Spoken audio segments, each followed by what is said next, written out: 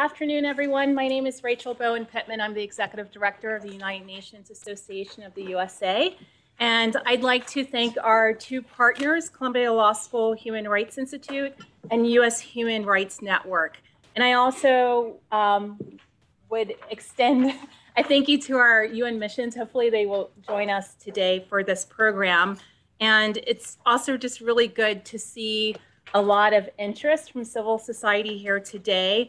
Um, and it's great to know that we've done a lot of great work around the UPR.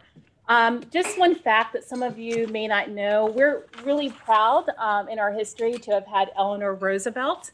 Um, as you hopefully know, she played a central role in drafting the Universal Declaration of Human Rights, but she was also one of our earliest members. Um, she was on the UNA's board uh, and was a really big champion. But today, UNA USA is a grassroots movement of Americans that support the work of the UN. And we have 20,000 members across the US in over 200 chapters in 45 states and growing. We'll hit 50 one day. Um, but our um, um, activation in the UPR uh, took place throughout 2019. Uh, our chapters all across the US got involved in this program to talk about the human rights um, issues and um, solutions for the United States. We completed 30 consultations on a variety of topics, um, every, anything from election integrity to gender equality.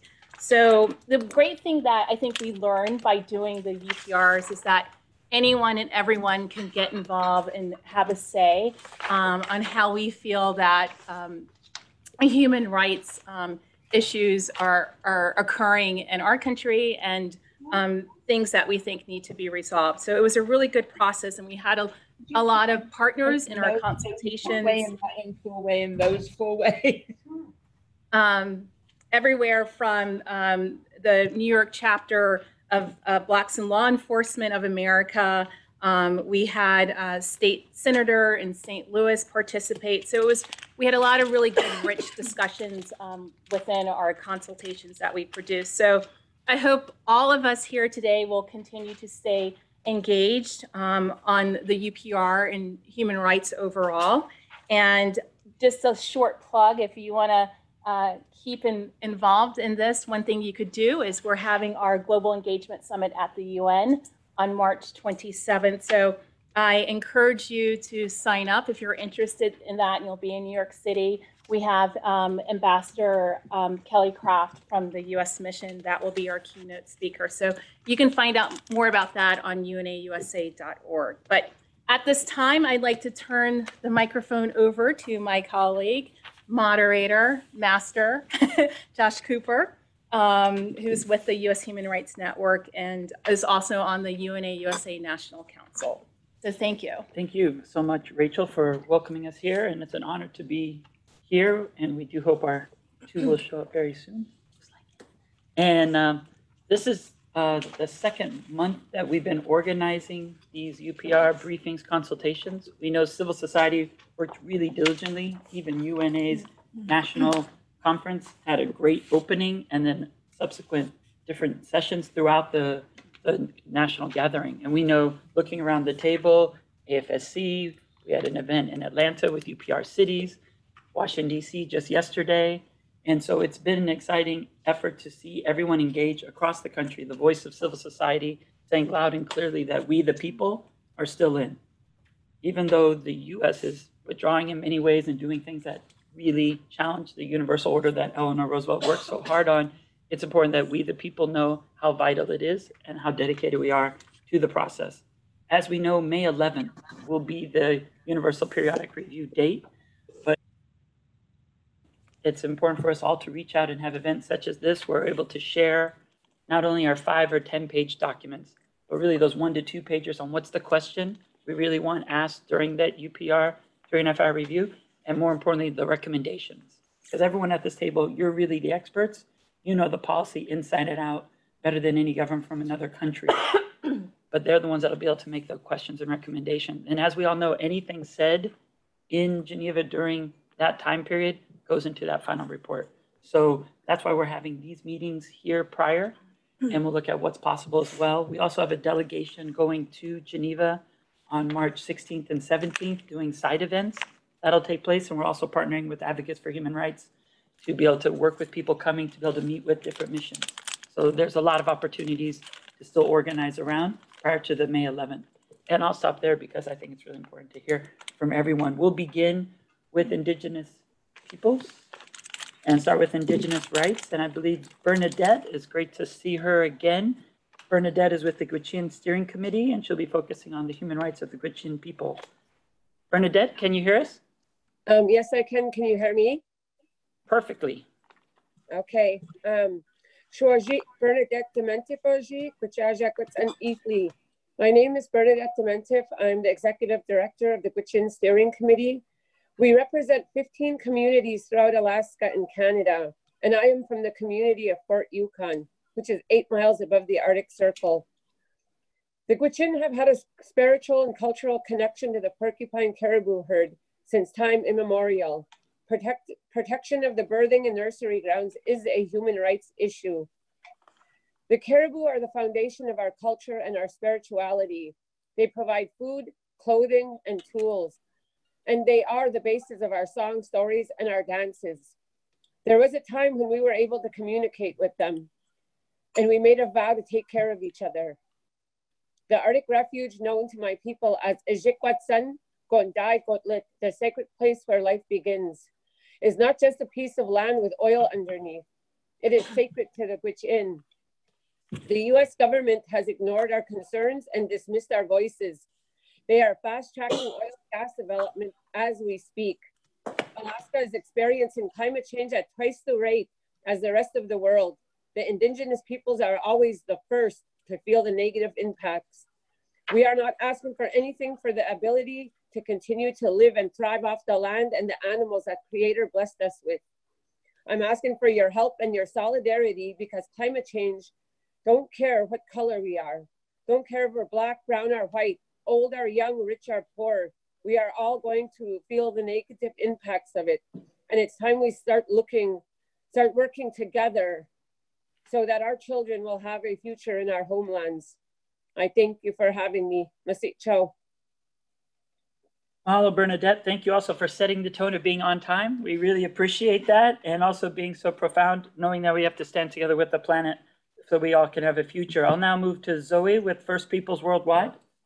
Uh, Thank you, Josh, and good afternoon, everyone. Um, As Josh mentioned, my name is Zoe Osterman. I'm a staff attorney with First Peoples Worldwide. We are a program based at the University of Colorado. Um, We work from a foundation of Indigenous values to achieve a sustainable future for all. And we have been participating in the UPR process alongside um, the Gwich'in Steering Committee. So for those of you who want a face with the name that you just heard, um, our one pager has a photo of Bernadette um, on here in the back of the room. Um, And um, as you heard from Bernadette, who is the Executive Director of the Gwich'in Steering Committee, the United States is currently fast-tracking oil and gas development in the Arctic National Wildlife Refuge in uh, Northeast Alaska in violation of the Gwich'in's human rights. Um, As I mentioned, we've been participating in the process and filed a report in October, um, which we have copies of both. I have hard copies and there's some available online. And to stay within my two minutes, I'm not going to detail um, all of our questions and recommendations at this point, but I do want to highlight that what is taking place um, in Alaska with the Gwich'in is aligned with an ongoing pattern of human rights violations against Indigenous people across the country. Um, and this is particularly the case in the context of large-scale energy and resource development projects. Um, and as you heard from Bernadette, up in Alaska, Indigenous peoples are often on the front line of climate change. They're both the um, first line of defenders as well as those who are often most impacted by the changes in their environment. And I want to point to a report by the Special Rapporteur on the Rights of Indigenous Peoples made to the Human Rights Council, in which she stated that Indigenous people in the United States wrestle with the realities of living in ground zero of energy impact. And despite the recommendations made by the previous Special Rapporteur in 2012, significant work still needs to be done to implement policies and initiatives to further the rights of Indigenous people in this country. Um, I am going to stop there, but um, do encourage, I know there are no uh, delegates here right now, but um, just encourage everyone to um, make sure you're speaking to the people who are the communities and the, the humans, the individuals that are most impacted by, uh, violations. So thank you for your time and Thank you, Zoe. Christina Cabrera will be coming in on land and water sovereignty campaign. Hi, Christina Cabrera, Chanchip Deer Spirit from the Pocasset Wampanoag Tribe of the Pokanoket Nation, representing a collaboration of the Land and Water Sovereignty Campaign, Pocasset Pokanoket Land Trust, Pocasset Wampanoag Tribe, the Pokanoket Nation, Indigenous Peoples Network, and members of the Narragansett Tribe, a federally recognized tribe. Uh, we want to state that there have been numerous violations of UNDRIP, broken treaties, disregard for indigenous nations and indigenous sovereignty, tribal governance, indigenous land and water sovereignty, um, desecration of sites, and no um, regard to Mother Earth rights, pollution, uh, extermination of natural food chain and of our trout, uh, failure to comply with the indigenous participation consultation and free prior and informed consent, and perpetuation of cultural genocide of indigenous peoples.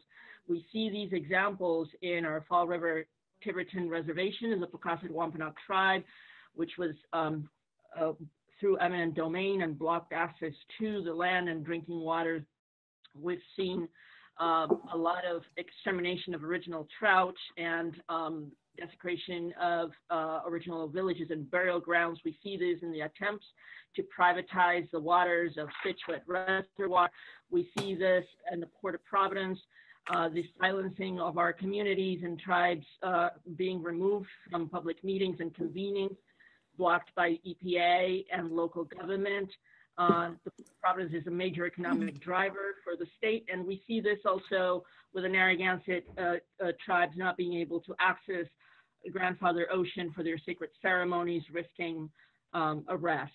Um, this is cultural genocide. Again, we recommend and we request uh, establishing indigenous restitution system, establishing a personhood of uh, Mother Earth and um, um, Mother Earth rights, uplifting and upholding Mother Earth rights, and um, adopting the uh, UNDRIP as a convention beyond uh, a declaration, and adopting Mother Earth rights uh, for uh, as a declaration um, at the UN level.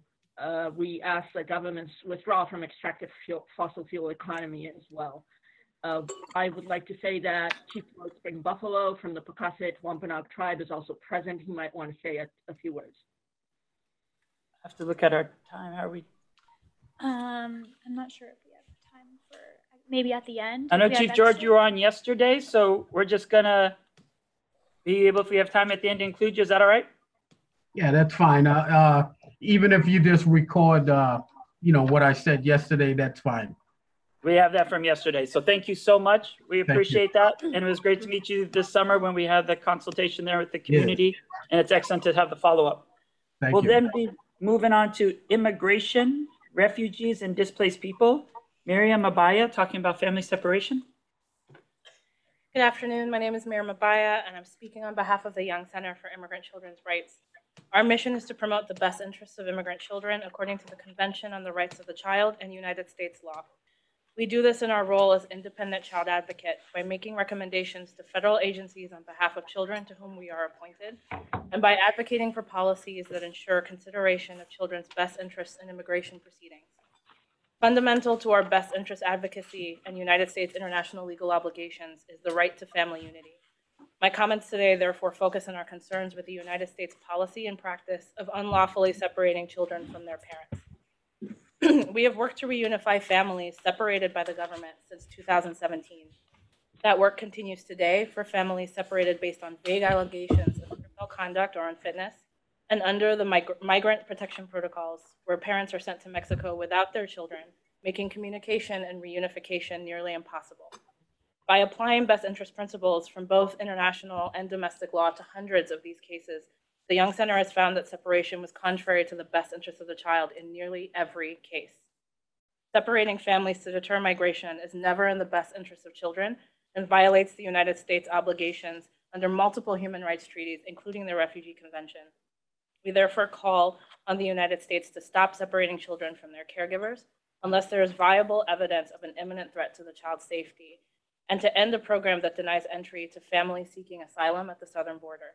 We further urge the United States to ratify the Convention on the Rights of the Child, which will fundamentally advance the rights of immigrant children in the United States, particularly consideration of their best interests and family unity. Thank you for this opportunity, and I would be happy to provide our full written recommendations. Thank you, Miriam, very much. Denise Bell with Amnesty International USA. Hello, hi everybody. Um, my name is Denise Bell. I'm a researcher with Amnesty International. We are an international human rights grassroots organization.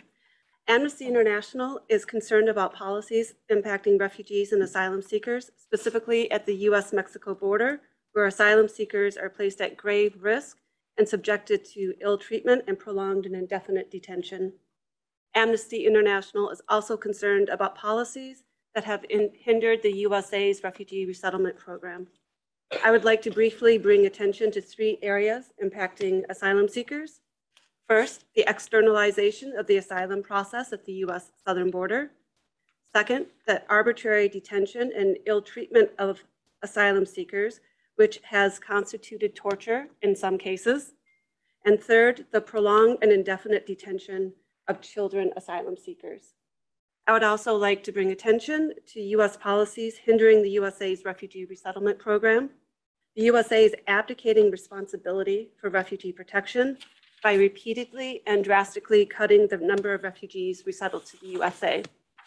With regard to asylum policies, Amnesty International calls on the US government to immediately halt illegal pushbacks of asylum seekers at the US-Mexico border and facilitate their prompt reception and the processing of their cases under US law.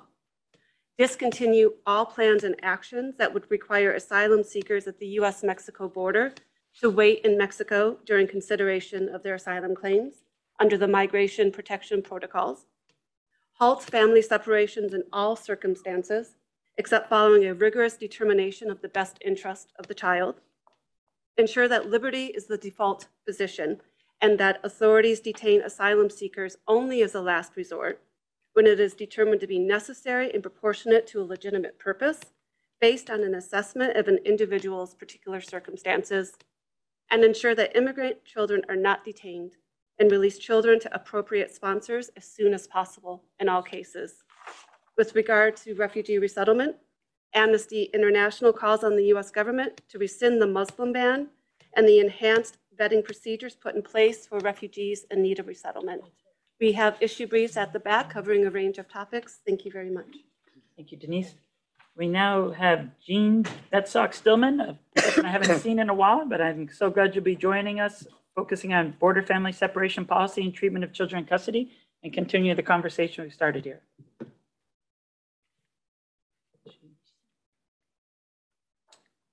Probably on mute. We think you might be on mute since we can't hear you.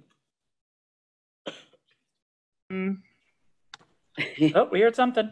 Am I there now? Oh, yes. Loud and Okay. loud. Hear you. Hi. Hey, Joshua and everybody.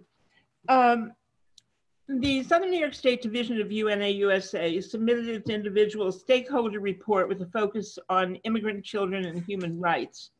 We organized a grassroots consultation with 44 ex, uh, invited experts and community members, and as well as a dozen civil society co-sponsors. Uh, in our report, we identified prominent trends, recommendations, and other content that emerged. And these were submitted with the goal of constructively advancing human rights in the US. Our report divi- uh, addressed three issues effects of immigrant policies on children, family separation policy and legal representation, and treatment of children in custody. Uh, migrant uh, on the legal framework, migrant children are, should be entitled to all of the human rights established in the Universal Declaration of Human Rights, as well as other human rights treaties that the US has ratified. And we all know that we have not ratified the Convention on the Rights of the Child, uh, which we recommend be done. Uh, with the effect of recent immigration policies on children, Beginning in 2017, the Trump administration issued 19 executive orders or took other actions designed to restrict immigration. Uh, restrictions on these admin, uh, admissions have had a particularly adverse effect on children whose families are fleeing violence and persecution in their home countries. The division's report makes the following recommendations for the US. First, extend refugee status to asylum seekers fleeing domestic and gang violence in their country of origin. Uphold America's obligations to protect the human rights of those fleeing their countries in the darkest of times and not place barriers in their path. And ensure the rights of immigrant families and children are protected no matter their legal status. Uh, on the family separation policy and legal representation, the administration announced in May 2018 a zero tolerance policy by which it would prosecute parents who cross the US border illegally with their children, separate parents from their children pending resolution of their cases, and place the children in shelters or with families.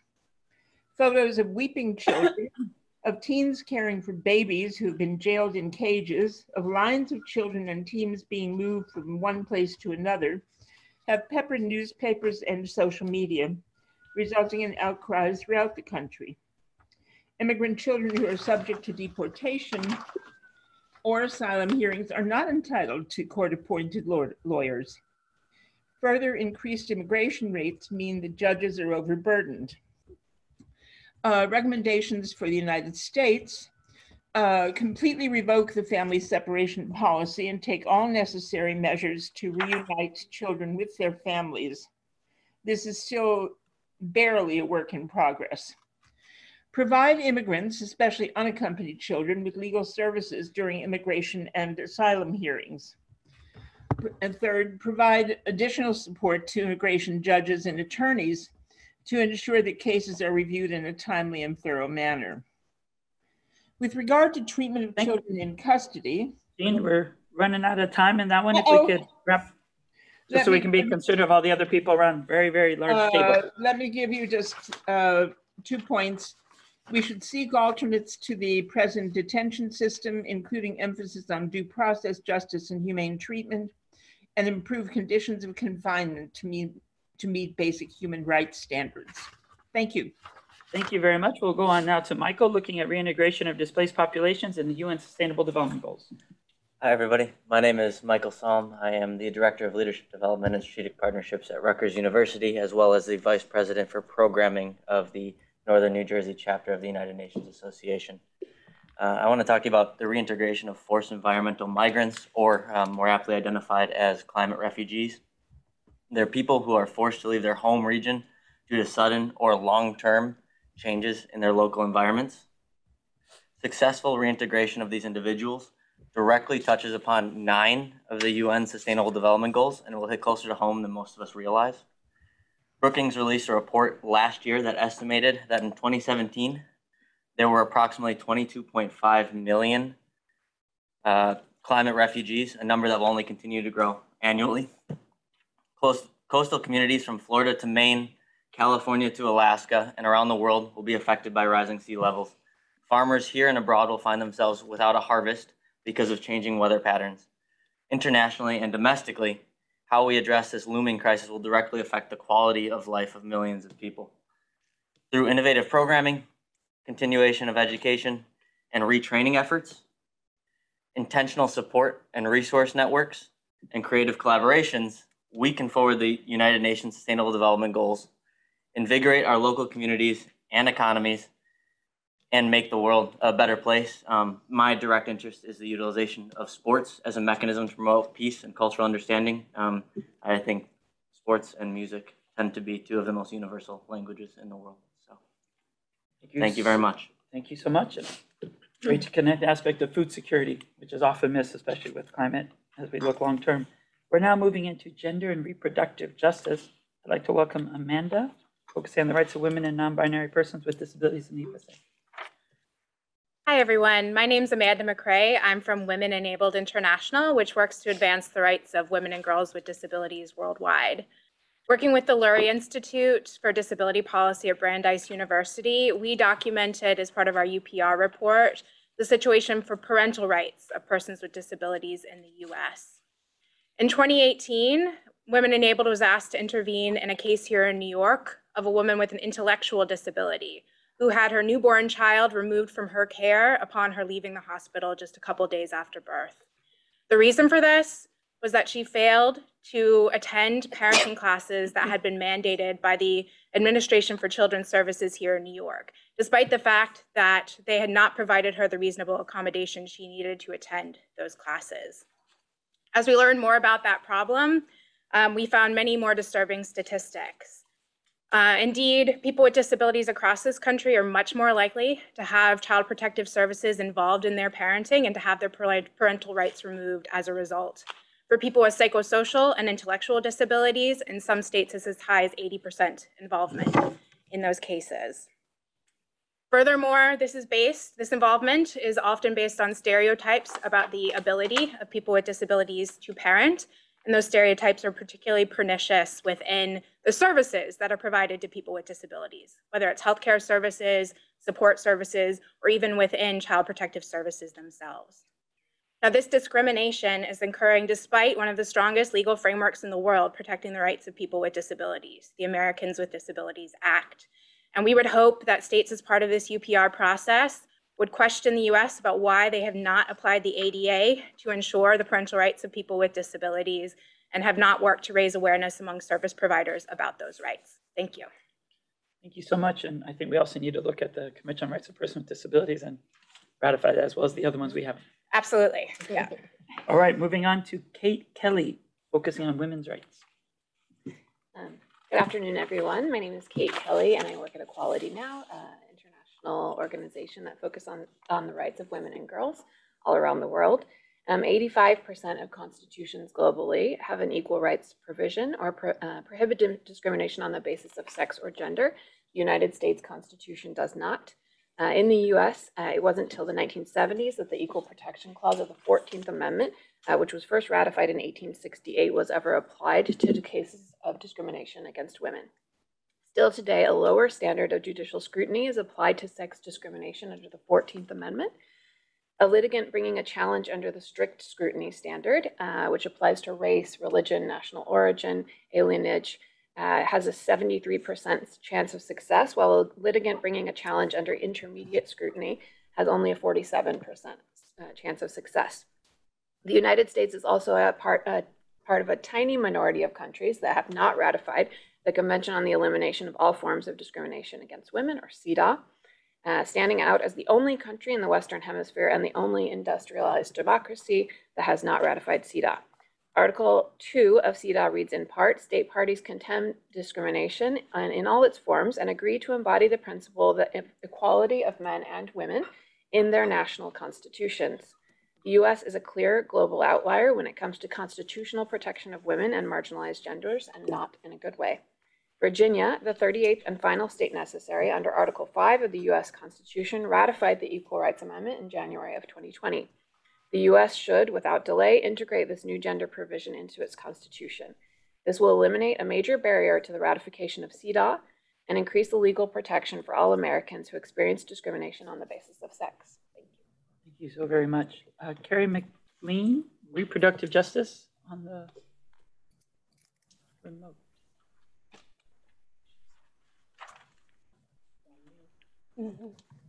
We also believe you're on mute. That's Wells, our observant mute person, and she keeps track of that to let us know where we're at. I don't see her name um, in the list of participants. Okay. So maybe we can come back. No problem. see. We'll move to Penelope Saunders then, focusing on violations of the rights of sex workers, in particular immigrant and transgender communities. Thank you very much.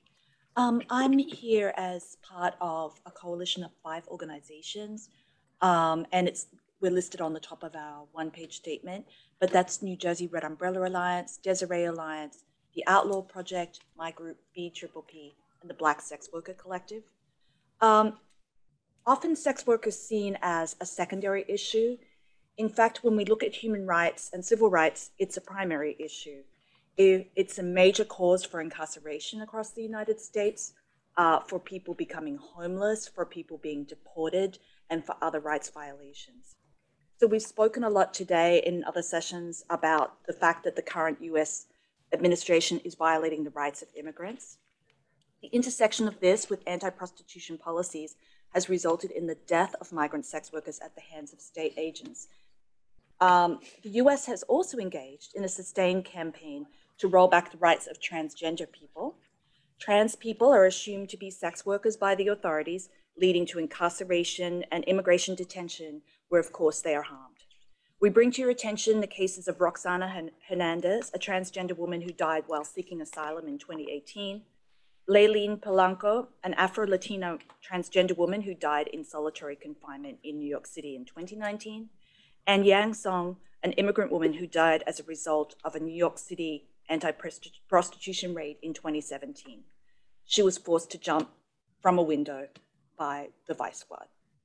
Uh, so the US has passed new laws since the last UPR, such as the 2018 Stop Enabling Sex Tra Traffickers Act, SESTA, and FOSTA. And this legislation limits the vital the sharing of vital safety information for se sex workers online and causes economic harm. We have three recommendations. End the criminalization of sex workers' lives, vigorously investigate and put an end to policing practices targeting transgender people, in particular in regards to prostitution, and address the atrocities of current immigration and migration border policies in the US that impact all migrants, including sex workers. There's a whole raft of policies that allow people to be deported purely because of suspicion that they've engaged in sex work. Removing that would go a long way in terms of ensuring the human rights of migrants more generally. Thank you. Thank you, Penelope. Now handing it over to Carolina with Center for Reproductive Rights. Thank you. Good afternoon. My name is Carolina Vander Mensburg with the Center for Reproductive Rights. Since the United States' last UPR, the landscape for reproductive rights and justice has worsened dramatically, resulting in a significant retrogression of rights with a particularly harmful impact on people experiencing multiple and intersecting forms of discrimination. Our joint submission focuses on the four following areas. First, abortion access is under attack in the United States. The US Supreme Court has repeatedly affirmed the constitutional right to abortion, yet states continue to pass laws that shut down clinics, impose medically unnecessary regulations, and shame women for their decisions. There is currently a patchwork of access to abortion care across the US. Six states have only one abortion provider. Second, the US has expanded the concept of religious refusals far beyond its appropriate scope by introducing regulations that have or will result in limited access to or denial of care, particularly in the field of sexual and reproductive health care. Third, the US is only one of 13 countries where maternal mortality is on the rise. This crisis disproportionately impacts Black and Indigenous women. The majority of US maternal deaths are preventable, yet the US government fails to adequately prioritize or monitor deaths. And fourth, the US has reinstituted and expanded the global gag rule, which prohibits non-governmental organizations around the world that receive U.S. global health assistance from supporting safe abortion services or related counseling or referrals. Your delegations are well positioned to remind the U.S. of its human rights obligations and call attention to the escalating attacks on reproductive health rights and justice. We respectfully urge your delegations to recommend that the U.S. first enact federal legislation affirming the constitutional right to abortion and refrain from passing laws that interfere with the right to abortion and bodily autonomy. Two, take measures to ensure that laws permitting refusals of care based on religious and moral beliefs guarantee seamless access to reproductive health care. Three, guarantee access to and availability of comprehensive health care services free from racial bias, including access to respectful maternal health care. And four, revoke the, glo the global gag rule. Thank you. Carolina. We'll now go to Logan Kenny on sexual assault in the U.S. military. Hey everyone, I'm Logan Kenny on behalf of the Cornell Gender Justice Clinic.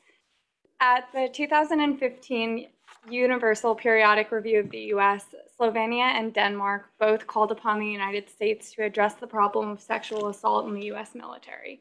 In particular, they called for the US to engage in preventative work and to ensure access to justice for survivors.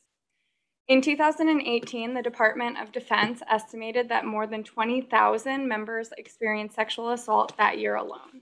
which is a 38% increase from 2016. Nevertheless, the US has failed to implement the recommendations made at the 2015 UPR. We've brought hard copies of our 2019 UPR shadow report as well as our two pager, which are over there. There are six key areas in which we believe there are, is still a need a, is still a need for reform. First, the US military fosters a culture of impunity. Claims of sexual violence are rarely investigated or prosecuted. And when they are, perpetrators often receive minimal or no punishment at all. Second, most survivors are effectively restricted to seeking redress within the military justice system alone. Those survivors are entitled to voice a non binding preference to prosecute in a military or a civilian court. Most are not informed of that choice at all. Survivors are also barred by judicial doctrine from bringing claims against the military in civilian federal courts. Third, the accused unit commander retains incredible power over the proceedings. Commanders can make disciplinary recommendations and amend sanctioning de determinations. Their lack of legal training and responsibility to successfully carry out missions, their close working relationships with both, both accused and sometimes survivors compromise their ability to handle these cases impartially and justly.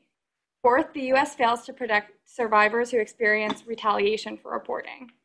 Fifth, LGBTQ service members face a heightened risk of sexual harassment and violence. And sixth, survivors face discrimination when seeking disability claims because claims for PTSD related to military sexual trauma are held to a higher evidentiary standard than other disability claims. In light of the rising rates of military sexual assault in the United States and the continuation of these systematic barriers to justice, uh, reform in these six areas is absolutely necessary. Thank you. Thank you so much. Farah Diaz-Tello, looking at criminalization of reproductive decisions and pregnancy outcomes. Hi, thank you. My name is Farah Diaz-Tello, and I'm senior counsel with If When How, Lawyering for Reproductive Justice. Um, and I wanted to acknowledge my colleagues from National Advocates for Pregnant Women and from Movement for Family Power, who jointly submitted a report uh, with us this October. Um, you've heard about the tightening restrictions that lawmakers are, are placing on reproductive health care, targeting abortion care in particular. Um, our organizations wish to address the punitive policies that are applied to women, trans, and gender nonconforming individuals based on their reproductive decisions or experiences. Um, our organizations have observed an increase in the use of criminal and civil punishment against people based on acts or omissions during their pregnancies. This includes the arrest of dozens of women who have ended their pregnancies outside of the formal medical system, often due to poverty or inaccessibility of abortion care, uh, it includes hundreds of criminal prosecutions of people who use drugs or have substance use disorders for giving birth, regardless of whether their babies are born healthy. It also involves the separation of thousands of parents from their newborns uh, and parents from their children on the basis of allegations of drug use or factors which are most frequently indicia of poverty. Um, proceedings in these cases are rife with procedural violations.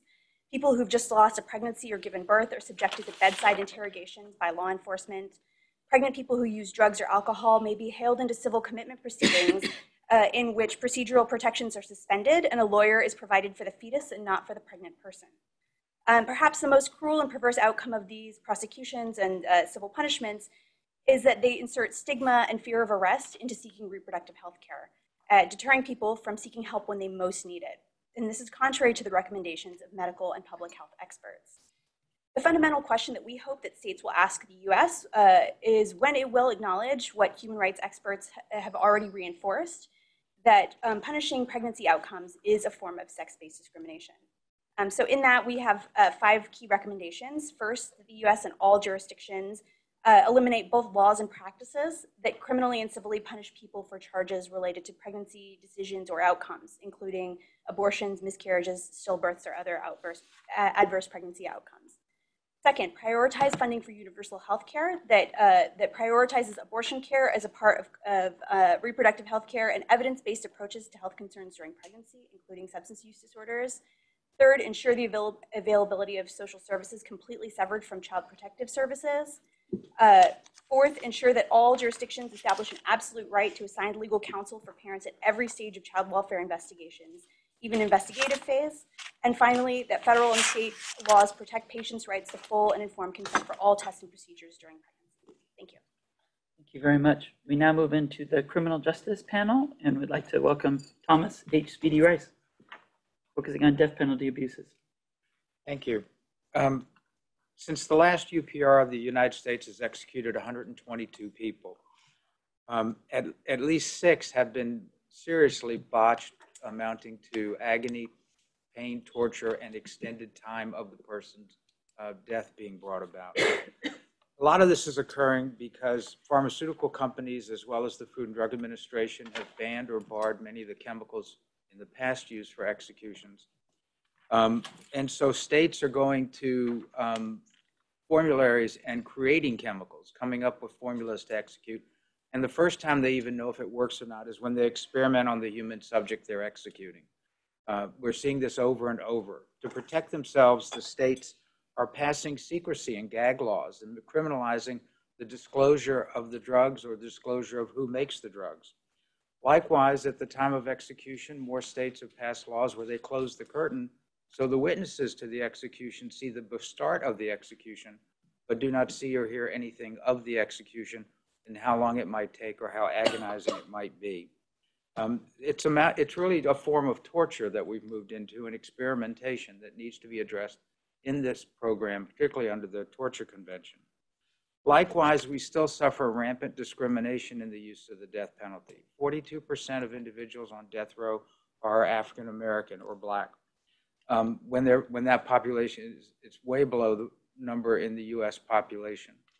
Um, the continued use of the death penalty against minorities in Los Angeles County alone in the last seven years, 23 people have been sent to death row, 22 have been people of color. So this, these violations of the CERD are also need to be addressed. We would like to, we'd like to stress that the committee point out to the United States these continuing violations, the need to address these, to cease these violations, and to work in, work within our policies respect for SDG 16, and particularly um, adopt the second optional protocol. Thank you. Thank you very, very much for even linking in the SDGs with the CAT as well as optional protocols. Now handing over to Jennifer Jones on prisoners' rights. Uh, Jennifer, I see you on Zoom, but I'm not sure if your audio is hooked up. I'm not seeing that you have the your mic connected. Um, Okay. maybe we can come back at Just the for end the of the sake of panel. time, just please indicate uh, on the computer when you're available, and then we'll go to Cynthia Soohoo. Oh, great. Um, Good afternoon. I'm Cynthia Soohoo, the co-director of the Human Rights and Gender Justice Clinic at CUNY Law School. I'll be addressing the treatment of pregnant people detained, detained in jails and prisons, as well as in immigration detention in the United States. This issue is discussed in our joint submission with 10 reproductive justice, uh, rights and justice organizations, as well as our fact sheet. Human rights bodies have repeatedly emphasized that detention and imprisonment of pregnant women should only occur in, in exceptional circumstances and that pregnant people are entitled to special protection. Yet, in 2017, the U.S. ended a policy that prohibited the immigration detention of pregnant people except in extraordinary circumstances. As a result, in 2018, over 2,000 pregnant women were detained in immigration facilities. On the criminal justice side, over the last 30 years, the number of women in prison in the United States has skyrocketed. And as a result, each year, approximately 12,000 people are incarcerated while pregnant, and about 1,400 of them give birth while in custody. Um, pregnant people in custody are subject to cruel, inhuman, and degrading treatment. Human rights bodies have repeatedly emphasized that the United States should not shackle pregnant women during labor, transport, and um, after birth. Yet, despite these laws and policies, shackling and the, the, the practice of shackling continues in criminal detention, and we're now seeing it in the immigration uh, detention context. Pregnant women uh, in jails have also been placed in solitary confinement, which is a clear violation of international human rights law. In detention, pregnant people are routinely denied adequate prenatal care and emergency medical treatment, which can result in pregnancy complications and miscarriages.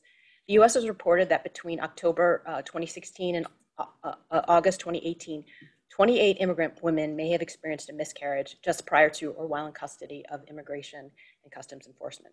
The mistreatment continues through labor and deliver, delivery, and most concerning, pregnant people in custody often face loss of their children. Recently, doctors have reported that federal agencies have taken newborns from detained immigrants um, following delivery, placing the babies with state authorities with no guarantee that the parents will be able to regain custody. And when women in prison give birth, babies typically will be placed in foster care unless a family member can take care of the child. And under current US law, if a mother is incarcerated for more than 15 months, her parental rights may be terminated. Our re- recommendations are that the, um, the US should ensure that pregnant individuals are not, um, uh, are not detained or incarcerated um, except as a last resort, and that uh, detained pregnant people should have access to prenatal emergency and abortion, uh, emergency and abortion care, and not face the loss of their children while giving birth in custody. And the U.S. should, should ensure that detained pregnant people um, be treated with dignity and respect, and that the use of solitary confinement, shackles, and other forms of restraints be banned throughout pregnancy and during labor, delivery, and postpartum recovery. Thank you. Thank you very much, Cynthia. We're now moving, We have Jennifer back. we now have Jennifer back. Jennifer, that was, we're, we're glad to be able to include you. Jennifer, you have the floor. Uh, yes, I do. Can you hear me? Very clear. Thank you. Okay, wonderful. Uh, good afternoon. I'm Jennifer Jones, and I represent, along with attorney Audrey Bones, uh, the Jailhouse Lawyers Speak organization. Um, I'm also co-chair of the NLG Mass Incarceration Committee Working Group, helping to assist the JLS International Law Project, and also an attorney and policy advocate at NDH Law Firm. Uh, most importantly, however, uh, on the second to last day of Black History Month are the statements of Mr. Sundiana Jawanza, the head of the Jailhouse Lawyers Speak. Uh, they speak for themselves, and in solidarity with them, their statement uh, to this meeting is as follows. Thank you to everyone who has taken a moment to speak with me on behalf of the JLS International Law Project. JLS stands for Jailhouse Lawyers Speak, a national prisoners-led human rights organization. My name is Cindiana Jawanza. I'm a US prisoner and jailhouse lawyer. The reason I'm before you is that the US, as a US prisoner, we wish to highlight US prisoners' concerns of international human rights violations to the international community. Currently, America is the number one jailer on the face of the earth. Never in human history have millions of people been known to be in cages as prisoners in one country. With this number in the millions comes grave injustices and human rights abuses on a massive scale. What's different with Jailhouse Lawyer Speak organizing efforts here is that prisoners are organizing themselves for direct action and awareness campaigns on a national and international level in the US. Yes, you could say we are the modern day Underground Railroad. Instead of the international community only learning of one state prison or jail human rights abuses, our efforts are concentrated in bringing awareness to the entire US prison and being in violation of international laws. We do have a priority list. First on our priority list is notice of what we call in America legalized prison slavery. Under international law, slavery is a flagrant violation. Currently, the UN recognizes and lists countries that practice slavery. What we notice is that America is not listed. It is our request that America be recognized as a slavery practicing nation on the list. The clearest evidence of slavery in America is spelled out in the 13th Amendment to the United States Constitution. The amendment abolished slavery except as punishment for a crime after being convicted by a court of law. Yet, according to international law, there are no exceptions for the practice of slavery. As US prisoners, we have organized resistance to slavery in the last few years to highlight prison slavery. December 9, 2010, prisoners in six Georgia state prisons began historic week-long work to strike, to protest systematic human rights abuses. On top of this list was forced labor or slavery. August 19, 2017, JLS prisoners organized with US citizens demonstrating around the US. Jennifer, we went over the time part. If you can wrap that for, I Absolutely, sorry about that. That's no problem. Um, so we'd like to also highlight um, the use of solitary confinement and medical practice neglect um, that are stand apart from World Health Organization standards. Thank you for this time. Thank you so very much. We'll now move to local, city, and state issues. And there's a large campaign this year by UPR cities. And of course, we're fortunate to have Rachel with us from the first U.S. Human Rights City, celebrating a decade. 11 years now. There you go. Thank you. I'm here to share recommendations and findings from the UPR stakeholder report entitled the situation of human rights in the District of Columbia as concerns the lack of statehood and voting rights, as well as entrenched inequality and the lack of affordable housing, which was prepared and submitted by the United Nations Association of the National Capital Area, the Washington, D.C. Human Rights Cities Alliance, and the George Washington International, the George Washington Law School International Human Rights Clinic following a consultative community process. Our first recommendation focuses on inequality, lack of affordable housing, and homelessness in Washington, D.C. We urge your delegation to recommend that the United States government provide more federal funding across the country, including for Washington, D.C., to combat homelessness and assist in providing affordable and adequate housing to its most vulnerable citizens, and encourage local governments like D.C. to design and to implement appropriate changes in local zoning policies provide more incentives to develop affordable housing, and improve the quality and quantity of low-income housing. Our report highlights the shameful legacy of racial discrimination that has haunted American history since the founding of the nation and that remains very much alive in DC today. Decades of racially discriminatory policies and practices have created vast inequalities between Black and white residents in DC, and nowhere is this more, more um, evident than with inadequate housing and homelessness. In 2019, 87% of the adults experiencing homelessness in DC were Black or African American, whereas they make up 47% of all DC residents. Poverty and homelessness and their disproportionate impact on Black DC residents are exacerbated by inadequate housing policies and practices. From 2000 to 2010, the no, total number of low income rental units in DC fell by more than 50% and has continued to the present day. Our second recommendation focuses on DC statehood and voting rights. We urge your delegation to recommend that the executive branch of the United States government promote and support passage of legislation granting statehood to DC, rectifying the injustices of disenfranchisement and lack of local autonomy, and bring the United States into line with its obligations under the ICCPR. The ICCPR requires every citizen to have an equal voting right and participate in the public affairs of its government. Despite this requirement, over 700,000 Americans residing in the District of Columbia do not have voting representation in either the house, either house of the federal legislature. This remain this results, moreover, in significant disenfranchisement of racial and ethnic minorities and a loss of political autonomy. Thank you. Thank you, Richard. David Stillman? Thank you. The uh, United Nations Association uh, Southern New York State Division participated in the, the work of the UNA USA overall last year. And of 11 submitted reports, the division was responsible either leadership or as a, uh, participant in five of these. Uh, all of the 11 reports are available on the UNA USA website, uh, unausa.org stroke human rights stroke UPR reports. Uh, and a copy of my remarks uh, is available on the side table. So uh, I would like to give you a, a, very quick review of a lot of work that was undertaken. Uh, among these five reports that, that we uh, participated in were climate change, race, gender, and criminal justice, election integrity, immigrant children, and race, criminal justice, and human rights. Uh, each of these was the result of research into past and current issues, including previous UPR work by the UN Rights Council, various international agreements and reports, and national reports and policies, and the pertinent articles of the Universal Declaration of Human Rights. Uh, this uh, uh work was done on the, the basis of uh, research, seminars, findings, and recommendations. The uh, the report on climate change, uh, which was done with the University of Hawaii, um, included an overview of impact in general and uh, then dealt specifically with fossil fuels, science-based policies, community empowerment, and agriculture. The highlight of our recommendations were that the U.S.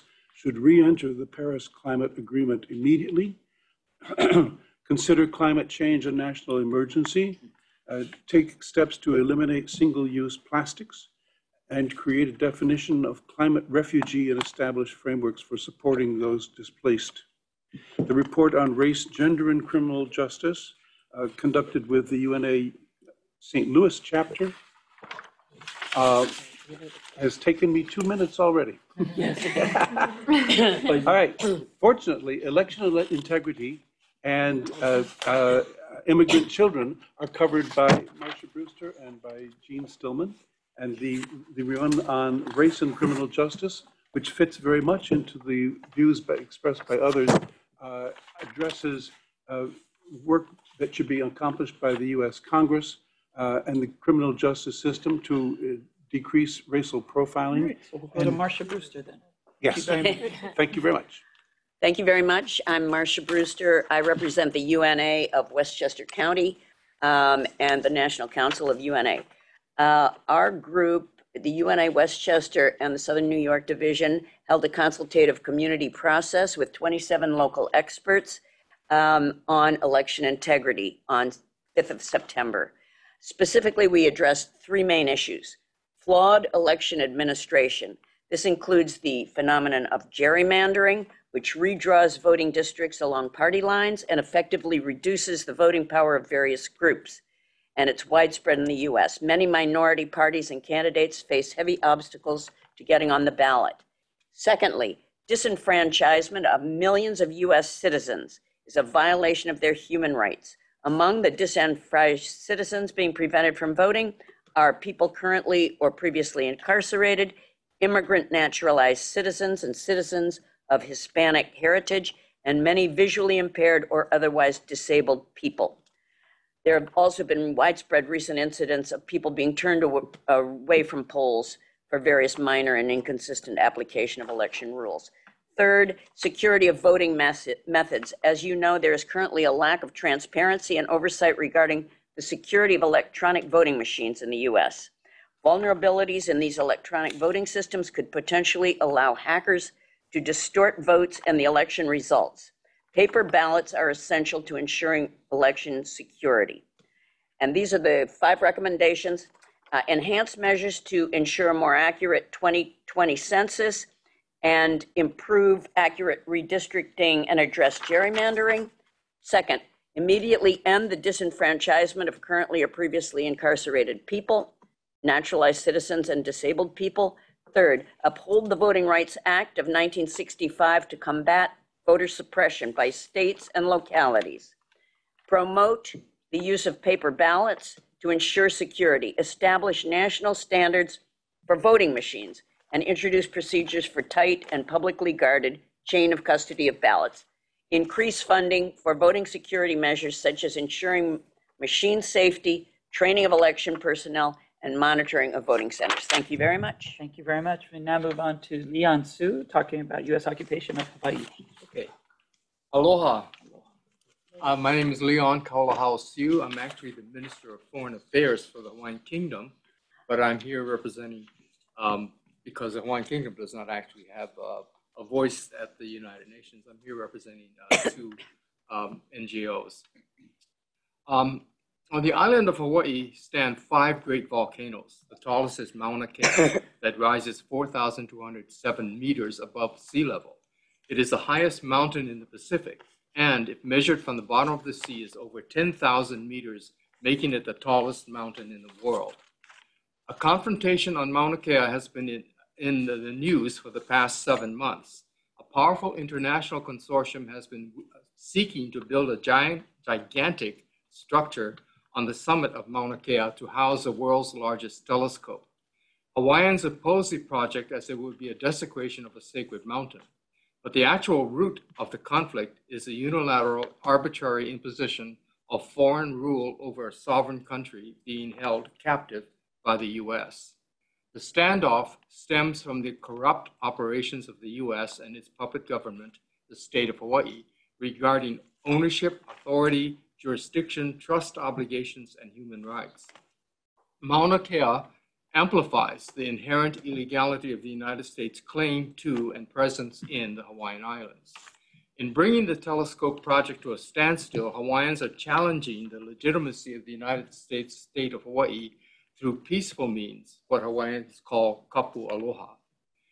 We maintain the diplomatic protest uh, registered by Queen Liliuokalani in 1893, and call upon member states of the UN to challenge the United States at its Universal Periodic Review to cease and desist its illegal possession operations of the whole and operations in the Hawaiian Islands, and stop the egregious violations of human rights of Hawaiian nationals seeking to live in peace and security and in control of our own homelands.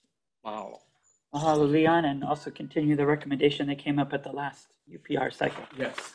Now we move to JoAnn Kamuf Ward, focusing on state and local government human rights promotion and protection. Thanks for your time uh, and attention. As Josh said, my name is JoAnn Kamuf Ward, and I'm speaking today on behalf of the Columbia Law School Human Rights Institute uh, and the International Association of Official Human Rights Agencies, which represents about 125 state and local agencies working to address uh, discrimination across the United States. Uh, and I want to briefly just emphasize something that's been implicit in many of the comments already the critical role that state and local governments play in making human rights a reality in the United States, and the need for independent national mechanisms to foster human rights monitoring and implementation at the local level within our federal system. I think it's really difficult to overstate at this point the damage done by the federal government's flagrant disregard for and attacks on fundamental human rights, both here at home and on the global level. Uh, and many have already spoken about some of these uh, some of these today. In particular, I want to highlight rollbacks in programs meant to foster equality and combat discrimination, many which have been in place for uh, for many decades, uh, and the newer enactment of laws that prevent cities from strengthening anti-discrimination protections. At the same time, as many of us know, bias and discrimination are on the rise. Um, and the ongoing federal, state, and local human rights violations that we see, which touch upon the CERD and the ICCPR and the UDHR and the UNDRIP, go unchecked in part because the US lacks any domestic infrastructure to monitor human rights, uh, and there are no federal institutions to track or report on violations. So while we know national level leadership on human rights is non existent, there are cities and states who are keen to do the right thing uh, and put their um, communities first, but they lack guidance, support, or resources. Uh, in prior UPRs, the U.S. has been called upon to develop a more comprehensive approach to human rights monitoring and promotion by many governments. And we asked to continue to build that record in this UPR. Uh, and we asked uh, representatives um, at the Human Rights Council to make targeted recommendations for a coordinated approach to human rights promotion and protection, including providing resources to state and local agencies and officials to monitor human rights and establishing independent and transparent federal human rights mechanisms. Thank you very much, Jen. Jacob Flowers, with American Friends Service Committee. Thanks, Josh. Uh, Jacob Flowers, I'm the U.S. Uh, Regional Director for the U.S. South with the American Friends Service Committee. Um, we're an over 100 year old international peace and justice organization working in 16 countries and 32 US cities around the world. Um, in that work, we work in the grassroots accompaniment model with the communities that we're in partnership with. These communities in the US suffering from the US government's lack of protections and lack of proactive efforts to respect human rights here domestically. We want to highlight that these violations disproportionately, always disproportionately impact poor and minority communities here in this country. From this work, we have collected the experience of the communities that we're in a company with in a full UPR shadow report that was submitted in October of 2019. Today, we have a, a shortened two-page document available for you with a subset of these recommendations, really focused at the U.S. executive branch in the hopes that they will take up on them. Within the area of immigration and asylum, we urge the U.S. government and urge you to urge the U.S. government to um, end what's known as the Remain in Mexico policies and the migrant protection protocols for asylum seekers to this country. We also urge you to urge the U.S. government to abolish the Immigrations and Customs Enforcement Department, reorienting it towards a more positive and productive purpose. Within the area of prisons and detention, we call for the immediate end to the use of solitary confinement um, immediately within the federal prison systems. Within housing, we call for the enforcement of existing housing laws, but call for proactive introduction of legislation that that um, supports just eviction laws, rent control, and the establishment of community land trusts. Within policing, we call for the end of the Countering Violent Extremism Program, more specifically with its recent um, move into mental health care, which is very um, scary, and to also set limits on data collection and the use of data, including most importantly, the use of facial recognition software. And to close overall, we call for the U- for member states to urge the U.S. government to immediately put itself forward for election back to the Human Rights Council. We must begin to re-engage there in good faith. Thank you. Thank you so much. We'll be to return to Columbia Law School with ensuring access to sanitation for communities in the United States. Bamisape. Yes, thank you very much. My name is Bamishope Adeyanju, and I'm here with my colleague um, Arusa Koka from the Columbia Law School Human Rights Clinic.